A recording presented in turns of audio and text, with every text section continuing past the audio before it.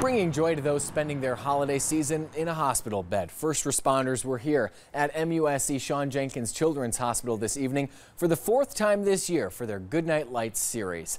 First responders lined up flashing their lights for patients to see. Children and families in the hospital were waving their flashlights back to responders on the ground to say good night tonight. First responders also visited patients' rooms. Santa also made a special appearance. There's nothing worse than being in the hospital at Christmas time.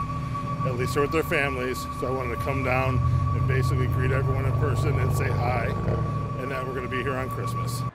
Santa's a busy man this time of year. This is the fourth year that this series has been going on.